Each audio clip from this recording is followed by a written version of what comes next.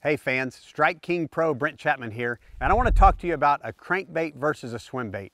You know, it's March right now, a lot of fish are spawning, but down south those fish are wrapping up the spawn and moving offshore. And that's when a crankbait and a swim bait really excel. What happens after the bass spawn? The shad spawn get going on. And guess what? Both these baits mimic a shad. There's nothing better out there that, to do that. So what I've got in my hand here is I've got a Strike King 5XD and I've got a Strike King Rage Swimmer here, a 4.75 inch. The big differences in the two is the swim baits, they come in a variety of sizes, about five different sizes. So you can go to teeny tiny sizes to, I believe, a five inch version as well. And then, you know, the 5XD, you know, it's about a 12 to 15 foot diver. You could go to a deeper diving crankbait, a 6XD, 8XD, or even a 10XD if you want to get down there deeper, but your profile of your baits get bigger as well. So one of the big things about the, the swim bait is it allows you, if you want to fish a small bait out deep, you can get away with that smaller profile. Or if you want to fish it up shallower, you can fish the swim bait as well. You know, the crankbaits traditionally, you make a long cast, throw it out there and you crank it and you get it to a maximum depth and hopefully it's ticking the bottom.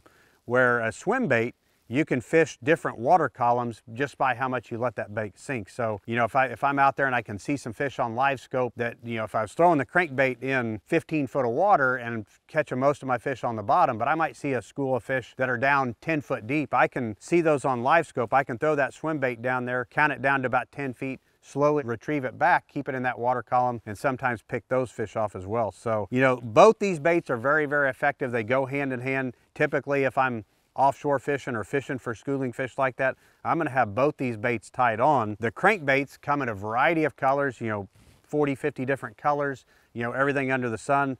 The swim baits look just like, you know, the bait fish that they're feeding on, shad, alewives, blueback herring, bluegill, something like that, where the crankbaits, you know, there's everything under the sun. And that's what I like is the swim baits, I prefer it a little bit cleaner water. You know, you can get away on those bluebird skies, but if you get, you know, some clouds or some stained water, the crankbaits come in very effective as well because of the colors. You can you can use the brighter colors. You can use the chartreuse the chartreuse blueback something that really stands out in those as well. Both these baits are always on my deck in a post spawn period you know that you know march april may timeframe when those fish are getting off the beds. Swim baits crankbaits one of my favorites